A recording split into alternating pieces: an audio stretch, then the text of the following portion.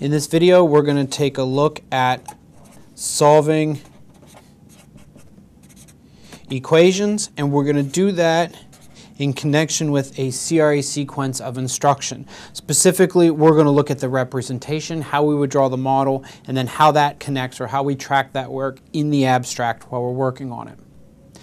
If you're watching this video and you haven't watched the video on simplifying expressions or you haven't watched the video on solving equations concretely, it's recommended that you watch those prior to watching this video. We're going to take a look at this example. Uh, we have 3 times a quantity 2x minus 1 plus 2, and that is equal to 7. And we're going to solve this with a representation. Now, we are going to draw exactly what we used for the concrete. So you'll recall that we used algebra tiles. The long ones represented x. We had a positive x and a negative x. And the, uh, the smaller pieces represented a value of 1, where blue was a positive 1 and the red was a negative 1. So we were able to represent expressions and then manipulate those expressions and equations to be able to solve equations we're going to have to draw these. Um, there really isn't a way around it. So what we will do is when we want an x, anytime we want an x, we are going to draw that shape. When we want a negative x, we are going to draw that same shape that represents x, but we will put a minus sign in there. Now, if you wanted, you could include a plus sign with the positive one. Uh, the reason that I don't, number one, it's a little more drawing, and number two, when we deal with terms like 2x, there isn't a plus sign in front of it because it's, impl it's implied that it's positive because it isn't negative. So I think that we can get away without putting a plus sign in each of the x's, but if you wanted to, you could absolutely do that. To show one, uh, we could draw little squares. The reason that I don't is because I think kids will start to confuse the x's with the squares because all these rectangles are going to start to take on the same, same shape. So just like we did with integers, to show a positive one, I'm going to use a plus sign, and to show a negative one, I'm just going to use a minus sign.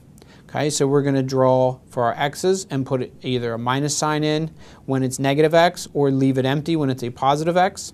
And then for a positive one, we're going to use a plus sign. For a negative one, we'll use a minus sign. So those are the pieces that we're going to draw and the extension from the concrete.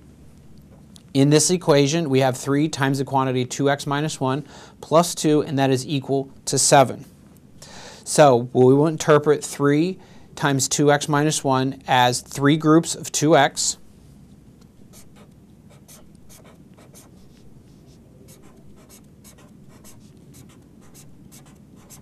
So there's three groups of 2x and three groups of negative 1. And so that would be 6x minus 3. And then, of course, we had a plus 2, so that would be two positives. And that would just be plus 2 for now. And all that is equal to 7, which would be 1, 2, three, four, five, six, seven positives. We can simplify the expression on the left-hand side by eliminating our zero pairs. And then we have to redraw. So when we redraw, we are going to have one, two, three, four, five, six x's and a negative 1. And that is going to be equal to 7 positives are positive 7. So again, we can see how negative 3 and positive 2 simplify to a negative 1. So that would be 6x minus 1 is equal to 7. Now you recall to, to remove this negative 1 from this side, we're going to make a zero pair. And the way that we do that is by making that zero pair and adding that positive 1. If we add that positive 1 to this side, we have to add a positive 1 to the other side. And so this cancels out just like it does in the abstract. And once again, we are going to redraw. And this is going to be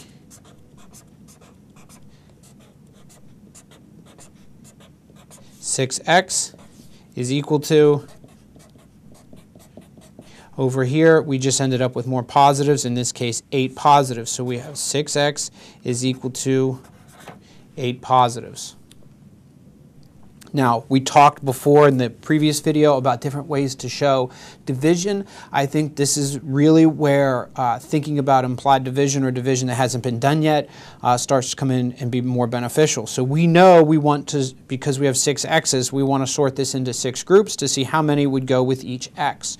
So what we can do is say that x is equal to the 8 divided into six groups that just hasn't been done yet. And then we can simplify that fraction and complete that problem abstractly. And so this represents what a problem would look like if we were solving an equation using a representation. Again, we draw the x pieces, the positive I leave empty, you could put a plus sign in there. The negative I would put a negative sign with. And then we use a plus sign and a minus sign to represent the positive and negative constants.